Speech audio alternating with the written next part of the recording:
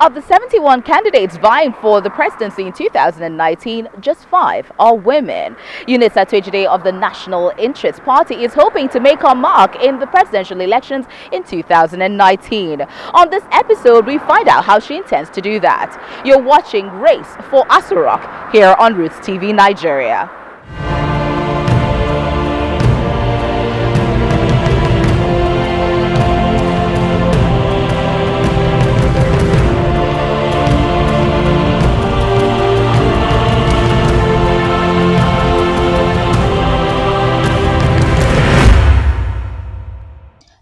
Nigerian women have been active in politics since before independence in 1960, they are yet to find their footing in the country's political leadership.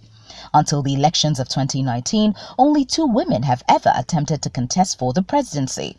In 2003, Sarah Jibril became the first woman to contest a presidential election in Nigeria, while Professor Remi Sonaiya of the Kowa Party was the second in 2015. Both did not fare well. For the 2019 elections, the number of women in the race for Aso Rock is five, and Eunice Atuejide is one of them.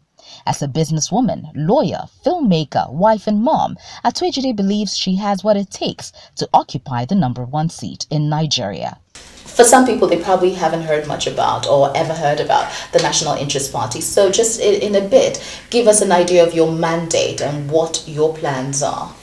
Uh, in terms of National Interest yes. Party, oh, National Interest Party, we're a group of quite young Nigerians. I'm just 39, but I'm one of the oldest at the National Interest Party. We started from law school when we were at law school and we are all seeing what it was like to be a Nigerian and especially for those who could barely feed the neighborhood, the people were always in one conflict or the other, the children were on the streets, the women couldn't pay hospital bills. There was just always a lot of troubles that we had to be coming in and helping out, doing charity, raising money to help. But we decided to look into it a bit more holistically and we realized that the only way to actually help is to get into government.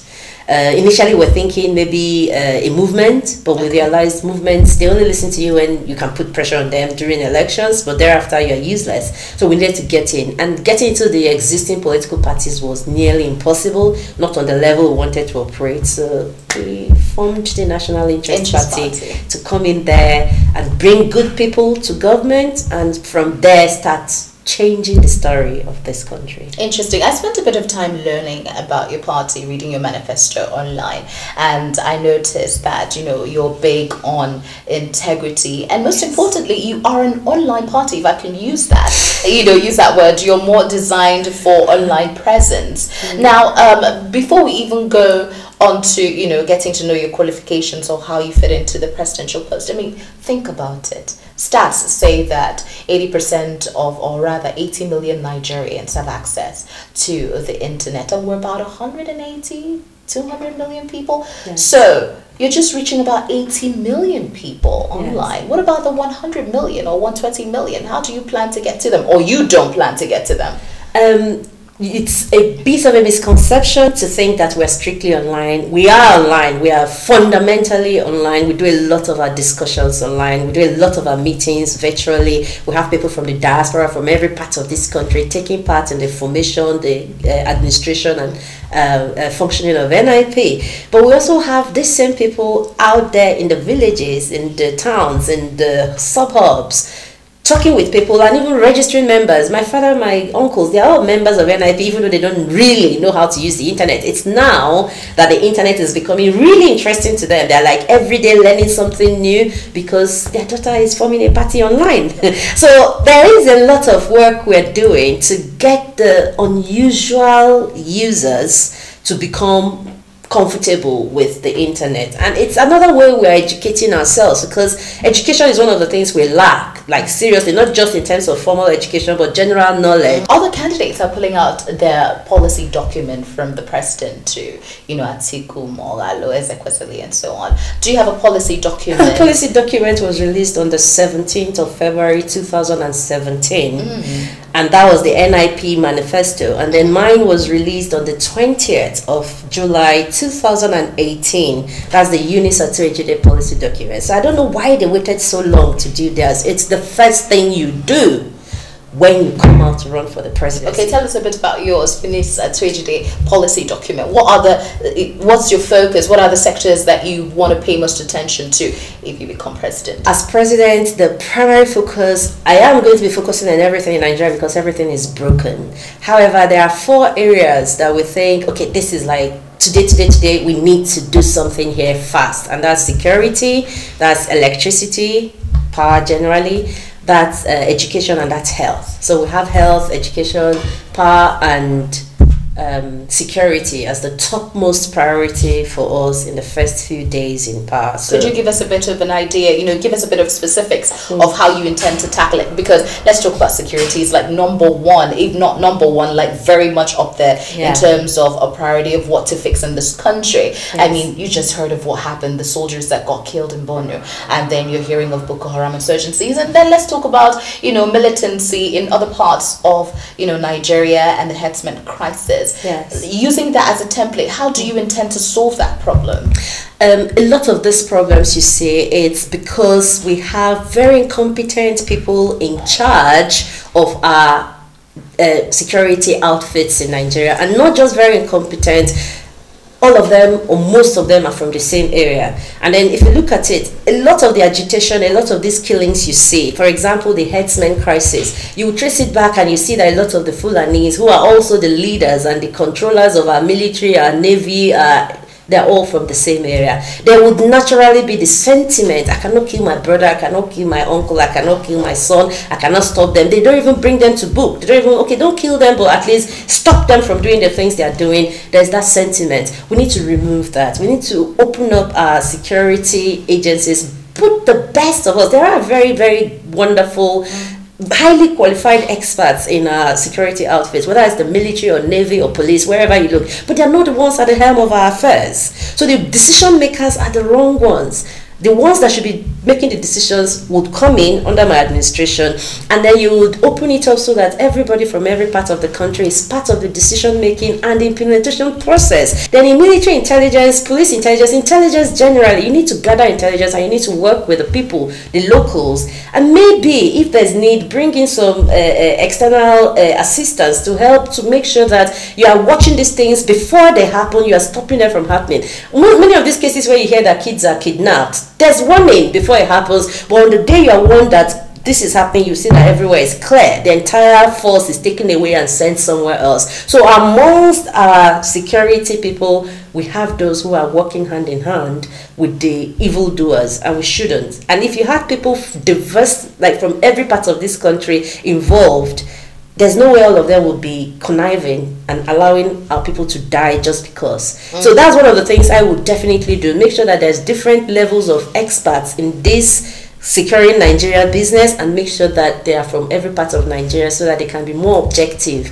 in the way they make the decisions and the way they apply the strategies that they design. All of right. course, you have to increase the equipment and training and there's so much to do. From what i have read your experiences border on you're a businesswoman you're a lawyer and you're a filmmaker a little bit. So yes i did i did i did, I did read about you. But um, uh, with this put together how does this qualify you to be president these experiences? How does that qualify you to be president? Everything i've done in my life has always been people management and that's the first job of the President of the Federal Republic of Nigeria. You need to be able to manage the people. You need to be able to manage the expectations of the people. You need to be able to manage the resources of this country. You need to be able to apply funds where they are most needed and stop the leakages that happens every day.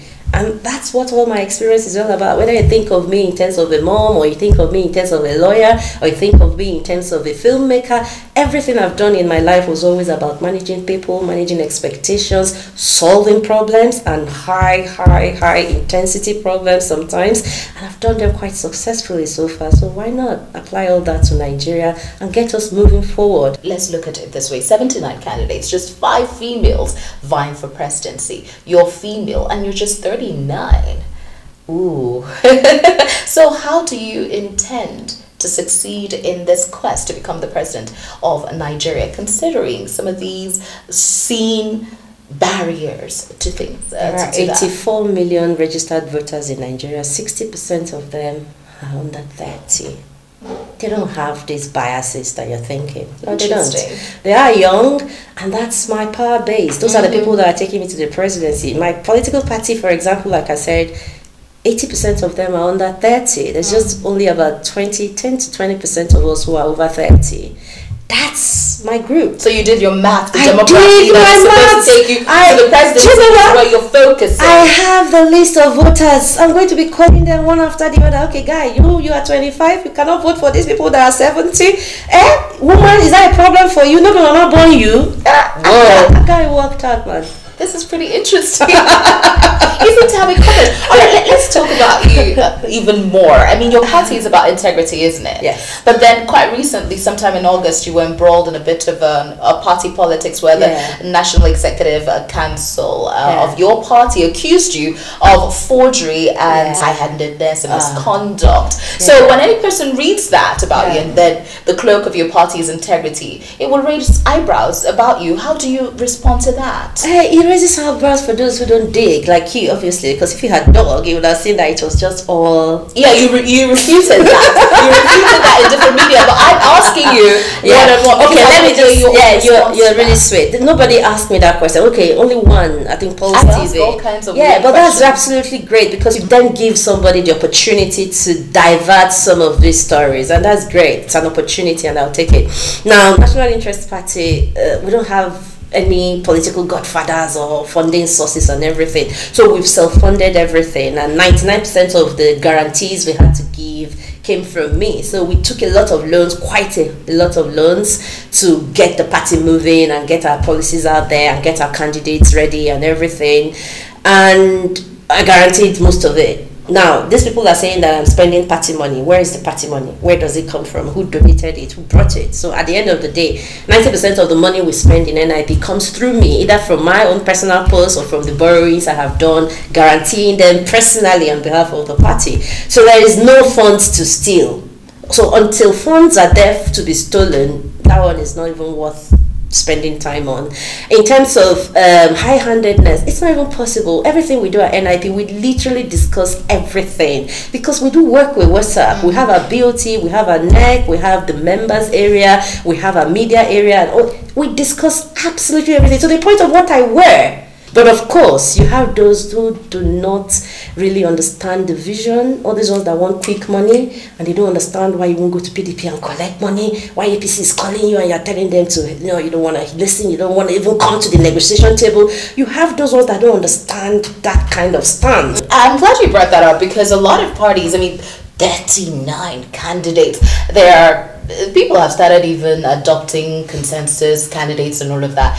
Is that possible with you? Where are we going to see that? Are you in this race so that you can drum up support, get your voters, and at some point, at a critical point, you can either sell that off or allow you to build? Well, no, what, so want a better word? Well, of course, if you're money to lie, that's selling, isn't it? So okay. is that a possibility? Um, before I joined the race, from 10th January to 10th June, my job was just to bring all these new guys together at National Interest Party, I wasn't even at the age to run. I was, th- I mean, I was 38 at the time, turned 39 in August, so I wasn't even qualified to run mm-hmm. until the not too young, young to, to, run, bill was passed, passed to law. Uh-huh. So that happened, I think, around May, June, July. I can't remember, but until then, I couldn't run. And be- before we came into the race as a party with a mm. presidential candidate, ours was to get all the guys together, mm. whether it is Moghalu or Durotoye or Sowore, Ahmed, Garba, all of them. The idea was bring everybody together. Let us pick one person through a very democratic process and all of us will support that person. By the time you're putting your 10 kobo and putting my 50 kobo, you're putting everybody puts their money in one pot and it is just one person we are going with. We are highly likely to displace this so-called status quo potentially even win the presidency in 2019. Mm-hmm. But the guys didn't want that. Everybody wanted to have their names on the ballot sheet. Nobody was ready to discuss or step down for anybody mm-hmm. or even go through a democratic process to emerge. Everybody just wanted to do their thing. So we thought about it at NIP and we said, look, thank God for this new law. Mama, you're better than these guys. Go show them. And now I'm Realistically, what are your chances of winning? the chances are realistically. I mean, I mean from the from chances the, the people's point of view, they probably write you off, but you know, you are the, the one with this vision. Are as good as any other person's chance. Why? Because you never know. Who tells you that Buhari may not fall down dead tomorrow? Ooh. No, you never, never know. Mm. Who tells you that Atiku may not decide that, ah, my God, let me just quickly fly to Dubai again and then they hold him and he's Dubai or go to America and they imprison him there? You never know. Who tells you that Sowore will not go out and somebody that he blackmailed in Sahara reporters will just shoot him and he's gone? You Ooh. never know. hey, so you stay there until it is done. That's why you now know at the end when the votes are counted, that's when you now finally know. So to decide that because everybody is saying what they're saying, you are going to start feeling dejected or something, that's not the way I think. That's absolutely interesting. Okay. So what what happens next after all of this? I mean, if you don't win. If I don't win, I go back to my life. That's the great thing about me. Yeah. I've got I've got plan A, B, C, D to mm-hmm. Z. Mm-hmm. I am running for the presidency to win. I don't win, big deal. I go back to my law. What if you were given? What if you were given an opportunity to serve in whichever government that wins? If it is APC, never. I'm not going to work with them. Forget it. However, if it is PDP or AAC or ACN or any of the other parties, like absolutely any of the other parties, I'm willing to go in there and see what I can do to help mm-hmm. us create a mm-hmm. better Nigeria. But if it is APC, I beg I no do. Thank you. you are almost done, but you're pretty eccentric. How does that work for you? I mean, I'm sure. I mean, uh, come on, you, you, you have got an ankle chain. You've oh yeah. You almost came out with a blonde wig and all of that. You know, you're running for presidency. How does that work for you? How do people respond to you? I do me, and a lot of people get it. They get it. I'm not here to play nice. I'm not here to play stupid. I'm not here to be anybody's stooge. I'm me, and I want every Nigerian to see me for who I am. And those who would love me would love me, those who would hate me would hate me, and those who would just be, now you need now. That's it. All right. Uh, last, uh, the, the last thing we do here on a race for Aso Rock. You've got just one minute. Look into the camera. Talk to that Nigerian and convince him or her to vote for you. Okay. Ah, na Naija level with this one. I speak English to talk to Naija people, so I beg on that. Whether you're educated person or I mean those my friends from market why they come visit every time I beg una eh? I just won't vote eh? I won't vote they decide something for this country I'm gonna throw am for Eunice now. I be una girl I've chosen una vote eh? I will do una better I will lead this country well. Everybody will be happy everybody will be successful young old woman man everybody will get the opportunity eh? Vote for Eunice